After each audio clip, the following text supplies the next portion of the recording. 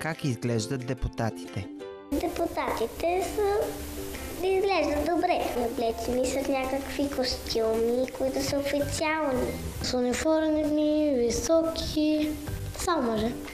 Един млад човек с къса коса и да има едни дълги крака и да има добро сърце. С големи очи, уста, уши и тяло. Ще бъде облечен с, с блуза, панталони и обувки. Какъв е наши депутат? Къде работят депутатите? Депутатите работят в едни големи сгради, където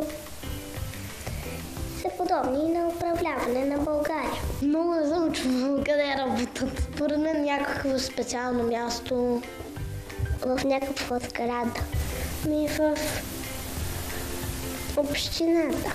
Каква е работата на депутатите? Стори сградата. Додрежда нещата на къщата. Те през деня пишат някакви документи. Ами бих работил за семейството си, ако съм бил голям.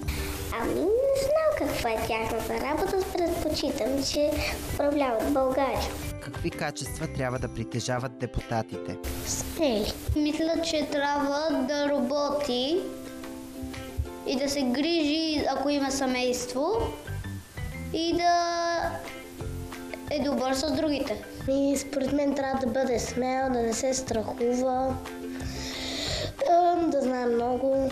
Еми, представям си ги като такива, които са силни, смели и работят без страх. Качествата да управляват България, както другите искат.